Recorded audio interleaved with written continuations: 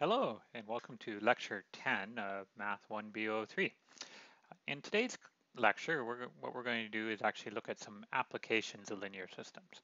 So we're kind of reaching the end of chapter 1 and we've covered all the sections, but we haven't looked at section 1.6, which kind of tells you some of the things that you can do with a linear system. So today's lecture is going to focus on two applications of system of linear equations. The first example will come from economics, and the second example will come from network flows.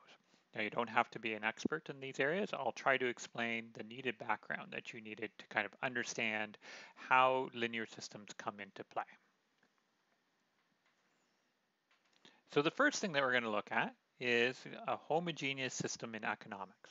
And what we're going to be looking at in particular is what's called the input-output model. And so here's the kind of the setup.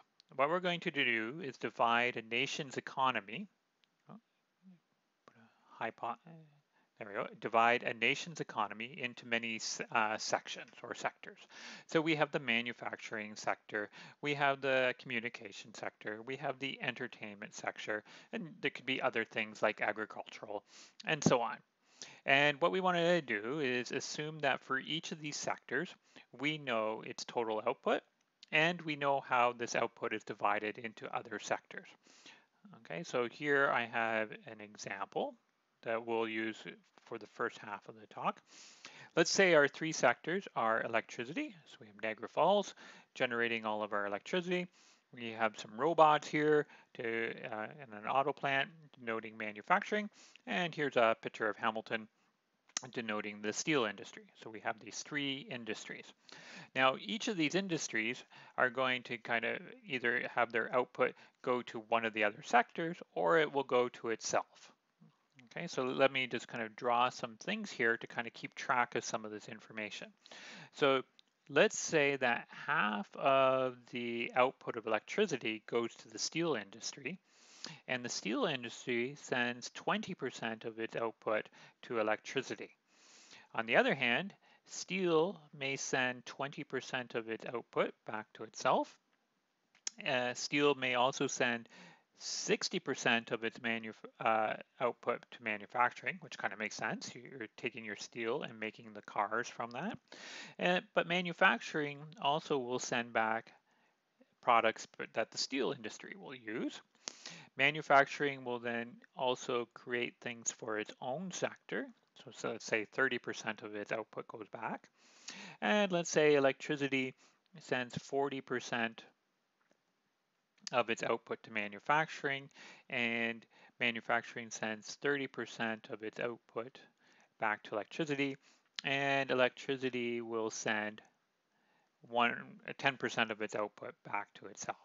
Okay, so just so that you're kind of clear about what all these numbers mean, what you want to think of it, if we're looking at all the arrows around here, what we want to say is 30% of manufacturing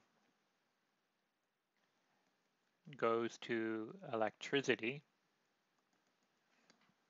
40% goes to steel, right? That's this 40%. And what did we have? We had 30%. 30% goes to itself.